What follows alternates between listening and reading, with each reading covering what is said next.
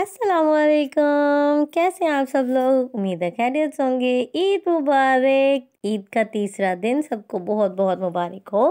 और जी, मैं ईद के तीसरे दिन में क्या कर रही हूँ? मैं बनाने वाली हूँ सुबह के लेट नाश्ते के बाद दोपहर के लिए चिकन पुलाव।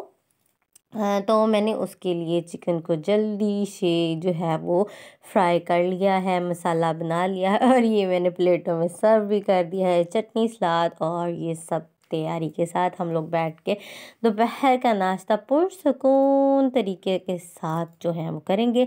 और आप लोगों ने मेरे चैनल को सब्सक्राइब करना है, लाइक करना है और शेयर ज़रूर करना है और देखते रहना है और यहाँ पे मैंने अपनी बेटी के मुँह में गर्मा गर्म चावल का चम्मच गलती से डाल दिया और मुझे बहुत डांट सुननी पड़ी। उसके बाद मैंने अपना मूड लाइट किया और जी, मैंने अपने बेबीज़ को दोबारा तैयार किया रेडी किया और हम लोग जाने निक, निकले जी फिर घूमने के लिए बाहर अपनी सोसाइटी में ही। तो ये मेरी छोटी सी सिंपल सी तैयारी, ठीक है? और ज़्यादा तैयार होना कोई ज़्यादा अच्छी बात नहीं है। और ज़्यादा बुरी बात भी नहीं है, ठीक है? अपने अपने टेस्ट के अकॉर्डिंग है। कौन कितना शौक़ रखता है? तो ये मेरे बेबीज़ और ये हम सब तैयार होकर इंतज़ार कर रहे हैं कि हम नीचे कब उतरेंगे और कब बाहर निकलेंगे।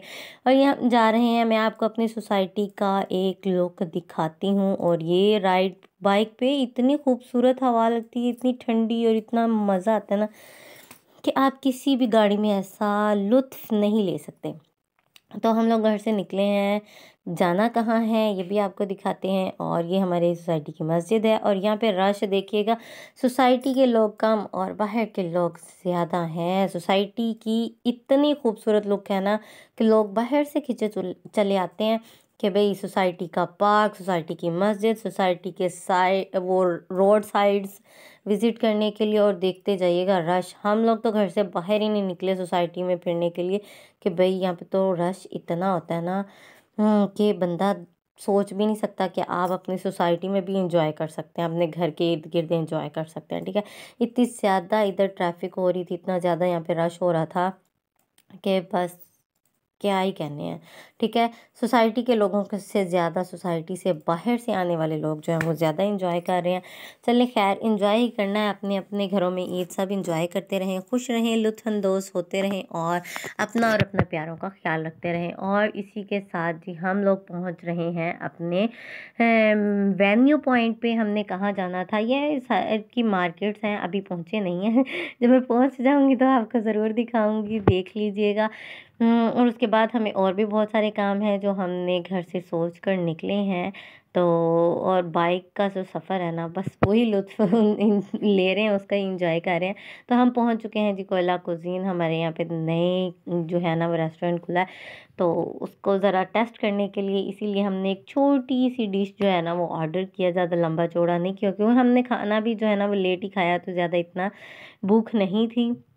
तो ये मेरी बेटी सबसे पहले जो है ना वो टेबल पे अपनी सीट पे बैठ गई। उसके बाद हमने मेन्यू लिया और मेन्यू के बाद डिसाइड किया।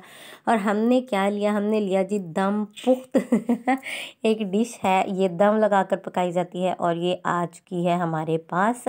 है तो बहुत लजीज थी, बहुत मज़ेदार थी और मेरे बच्चों ने जो कहा वो हम खुद ही खाएँगे भाई।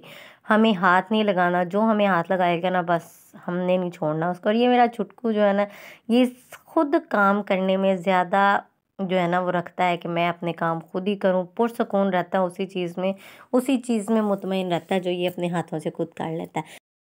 और जी, आप लोगों की ईद कैसी गुजरी, ज़रूर बताइएगा कमेंट में। बाय, अल्लाह हाफिज़।